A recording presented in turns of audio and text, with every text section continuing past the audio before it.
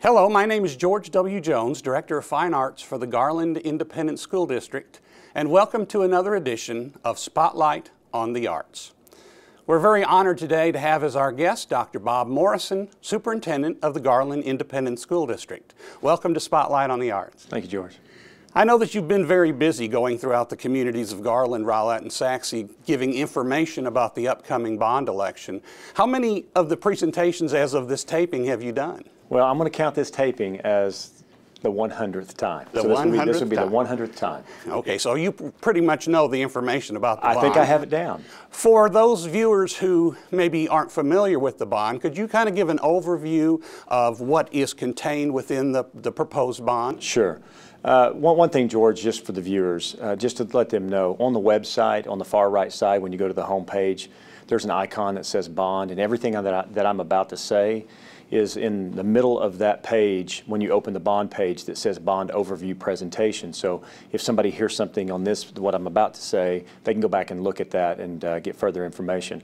But I think it starts off with safety and security on secure entrances. 66 of our 71 campuses don't have a secure entrance, which means once we buzz them into the school, they don't go into the office where we can screen them and make sure they have a reason to be there to keep the teachers and the students safe.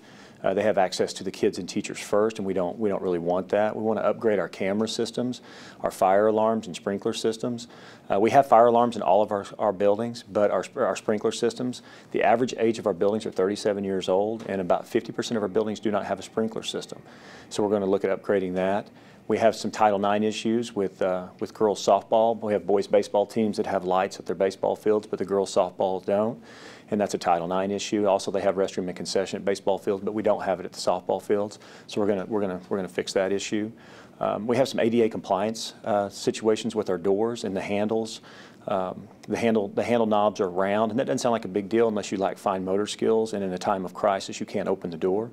And then also, but they also don't have locks, and we want to be able to put the locks in there to keep the kids safe and the teachers safe, where they can lock the door quickly if somebody was in the building that's not supposed to be there. And then a lot of our restrooms, because the average age of the buildings are 37 years old, they have um, they're not handicap accessible.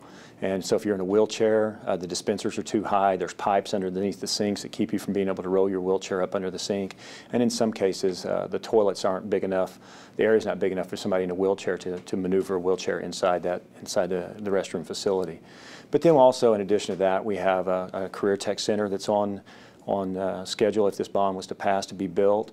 And that's, that's kind of an exciting thing because it's different than what we currently have. Right now, if you, uh, George, uh, you know, you know this, we have a great automotive and welding program at South Garland. But if you want to go to that program, you have to leave your high school to attend that school. Well, the Career Tech Center is going to be completely different. It's a standalone school, and all seven high schools, the students will either spend their morning there and then go back to their high school, or they'll spend their afternoon there at their high. Uh, they'll spend their morning at the high school and then go there in the afternoon. So the students will no longer have to give up their high school experience to attend Career Tech classes. And then we have a, a swimming pool or an auditorium. We currently have swimming at one high school, Garland High, but we have swimmers all over the district, but we don't have a facility, so we'd build a facility for that. But in addition to that, we would do water safety and swim lessons for uh, elementary age students. Second leading cause of death in the United States of school-age children is drowning. So we want to uh, see if we can help uh, alleviate that issue, at least in Garland ISD. And then we have some computer uh, replacements. We have $50 million in this bond for just replacing the current computers that we have and the servers and the switches to make sure things uh, move uh, at a faster pace and is more up to date. And then we have iPads for middle school and high school kids. And those iPads, their textbooks will be loaded in there, and it makes the, the learning much more engaging and much more uh, meaningful. Uh, you know, when we, the example I give, I go back, uh, you know, George, I'm 50 years old, and when I go back and look at a textbook and I think about the plant life cycle or something, I, I used to remember seeing like six pictures and you'd see a seed, and then you'd see the sprout, and then you, you know, all of a sudden when you got to picture six, you would see the full plant. Um, well, now in an, in, a, in an online textbook, there's an embedded video in there, and for you'd push the video button, and it would show you about a minute and a half the complete plant, plant life cycle. So it's completely different, different way of learning. And so those are some of the things, and I think we're about to talk about something else. Yeah, uh, since this is called Spotlight on the Arts, talk to me about how the fine arts areas will be impacted should the bond pass. Absolutely. Uh, in, in the bond, there's $35 million, right around $35 million set aside for fine arts. And, and We have wonderful fine arts programs, as you know, and they're just busting at the seams. If you go to a you, you go to a football game, uh, you see the bands out there. You go to choir concerts, the choirs are booming. But even orchestra, I was at uh, Jackson uh, Technology Center yesterday to, to give a, this presentation, number 99, and uh, the orchestra was playing right after that. And so we're going to add a choir and a band facility at each of our middle schools and high schools. And then we're going to take either the band or choir room, depending upon which is the best one for the orchestra departments that we, the programs that we have, and we're going to remodel those and bring the orchestras out of the portables and into the buildings where, uh, and also in, for climate control, as you know, uh, for instruments and things like that. So um, not only was, is it going to improve the facilities for our band and our choir, but it's also going to improve our facilities for orchestra. Okay, well, many people who know your background know that you, of course, were a basketball player and at one time a basketball coach. But what a lot of people don't know is that you were a member of the choir also. Tell us about that experience. Okay. Well, um, it actually started well before I was in choir in uh, junior high and high school. Um, my parents, my mom, always thought it was important as far as the arts go. So I actually played the piano for like six years, took piano lessons. And I'm a firm believer of this. Uh, if you can teach a student to read music, that's almost like a second language. And uh, the students who can read music can do anything. That's my, I, am a firm believer of that. I've always believed that. And as a teacher, uh, when I taught, um, anytime that the band or the choir were off on competitions, all of my honors classes would be completely empty because all those kids are in all the honors classes. And there, I think there's a direct correlation. But I also was not just in the choir, I was also in kind of like the jazz choir. So I was in the show choir as well. So I was the guy that did the little two-step dancing and the cha-cha-cha kind of stuff, you know, and no, I won't do that for you right now. you know, I very rarely hear you speak in public when you don't talk about the importance of athletics, the importance of fine arts, the importance of extracurricular activities in the education of our children. Share that philosophy with us. George, you know, I, I, obviously the core of all public schools is the foundation, you know, math, science, reading, language arts. We want all of our students to excel academically. But we also want them to, to, to get their niche. And whatever that niche is in school, for some students, it's debate. I love debate. People don't really, you know, because I talk all the time. You know, a, a good debate is awesome. And uh, whether we're talking about debate or we're talking about the visual arts. You know, we added elementary art into 11 of our schools this year. And we're going to continue to add elementary art in Garland until we get elementary art back in all of our schools. Why? Because I have students whose passion is the visual arts. And our job as educators, yours and your role, mine and mine, is to open doors for students, provide opportunities for students and let them self-select. And some students, I was at, uh, I believe it was Lakeview, uh, Lakeview's game this last week, and I believe I saw two football players in the band that were playing at halftime. Perfect. They can do both. You know, we don't always have to say kids can only do one thing. And I think the more opportunities we provide for students, the more engaged they become in school, the more engaged they are in school, the better their learning is going to be. Well, if this bond passes, there'll be a lot of excitement in not only the fine arts department in the school district, but of course across the entire school district. Can you give us a recap on early voting? When does it start and where can people Absolutely. cast their votes? Early voting actually starts Monday, October the 20th, and it runs through October 31st. Uh, there's different times on different days. Sometimes it's at 8 o'clock and so 8 to 8 to 6, 8 to 7, and then sometimes it's 7 to 7. Depends on if it's on a weekend. If it's a Sunday, I think it's 12 to 6 or something like that. All of those are posted on our website, the exact times. I always tell people if you go at 9 o'clock in the morning, it's open at 9 o'clock every day. So, uh, you know, but, but then the, the three locations are Sachse High School, uh, the Rowlett City Hall Annex, and the Richland College Garland campus in downtown, in the downtown Garland area. And so those three places with the election date of November the 4th. And if somebody is going to cast their vote on November 4th, where can they find out where their polling place is? You know, it's my understanding you can find your polling place to go to Dallas County election and, and plug in your address and it tells you your, your location. I always just tell people it's so much easier to go to early voting. You don't have to stand in line near as long. And it's opened up for about a week and a half. And so I always encourage people to do the early voting because the lines are not near as long and you know exactly where the locations are. Well, Dr. Morrison, we appreciate you being with us today. And of course, now that we know about your choir background, we'll have you back to sing a few songs for us. How about that? Good luck with that. As Dr. Morrison said, we've added elementary art on 11 of our campuses, with a goal in five years to have elementary art on all 47 campuses.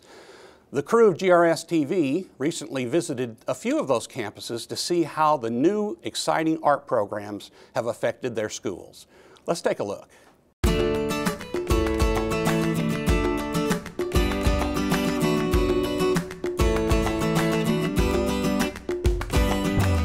having art at Beaver Tech first year, um, we're learning about the elements of art, principles of design, and how art affects your everyday life.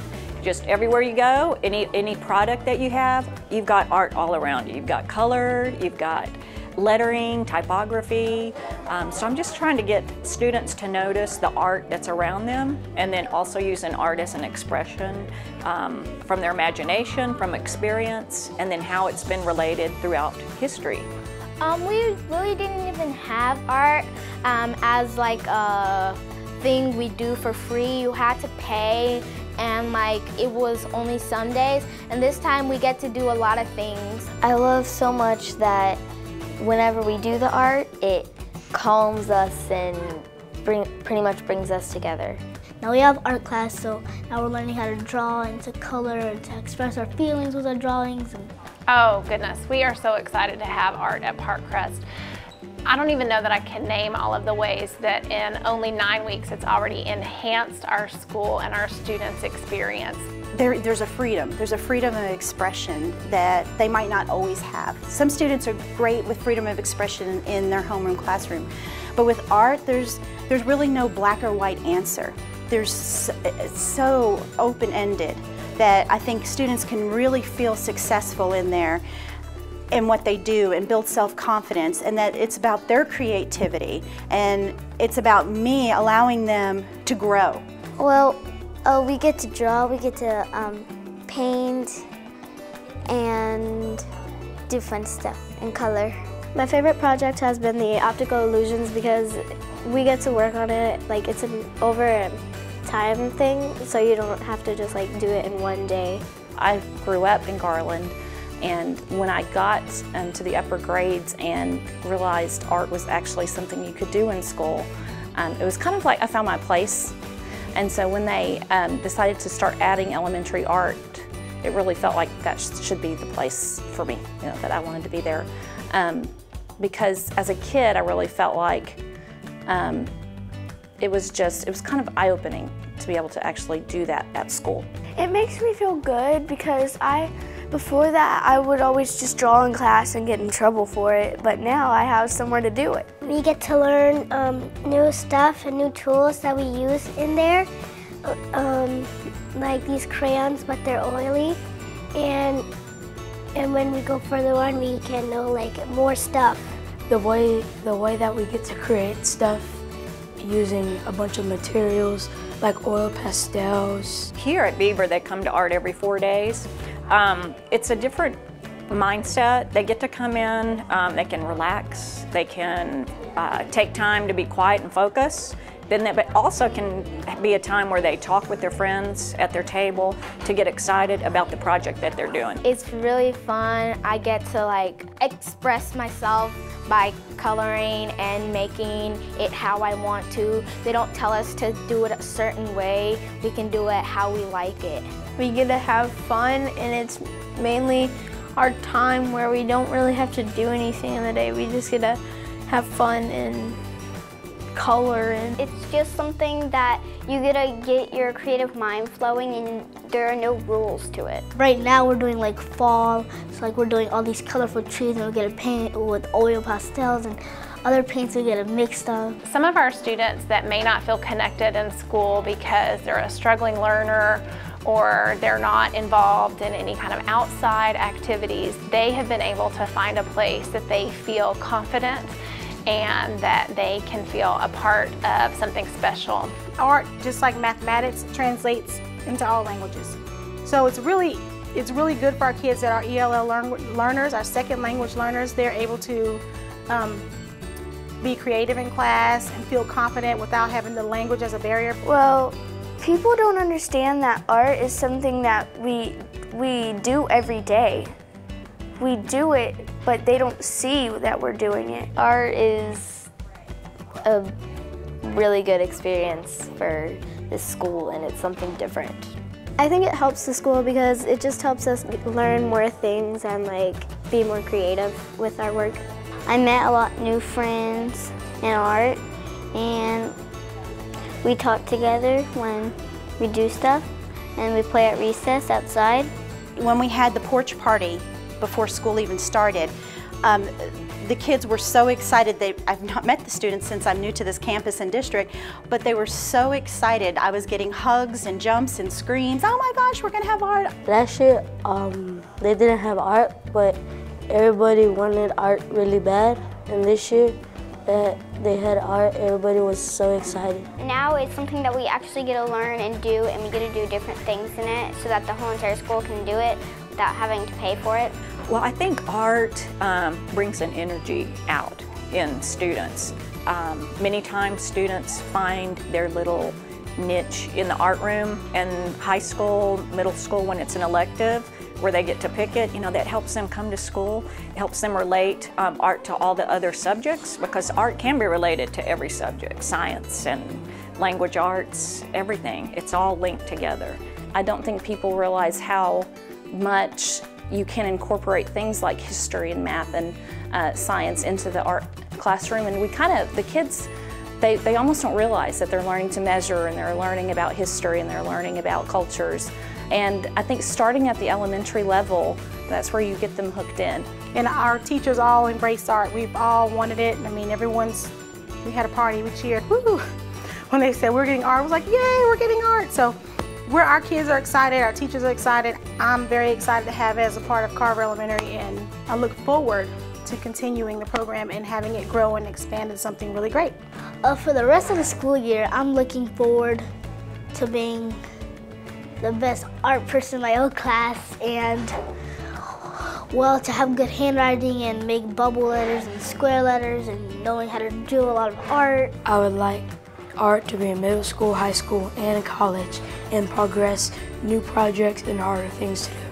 Now that when you go to middle school, if we didn't have art, we didn't, we will not know anything when we go to middle school. Now we know like all the dis disciplines of art now. Now, now when we're going to go to middle school, we know all of that. It's just really fun. You know, we've got art hanging now in every part of our building. We had teacher artwork that was displayed uh, when the kids began the school year, and now we have student artwork everywhere. And so kids now feel a part of our school, and they have something to show their parents that they're proud of. I think when, when it comes to art, there's no strict boundaries, and they can just, they can feel like they can step over and just have that freedom to express themselves. Thank you for watching today. As always, I invite you to visit our website at www.garlandisd.net forward slash fine arts. There you'll find a calendar of events and concerts that are taking place across our school district. I hope that you'll join us again next time when once again we shine our spotlight on the arts.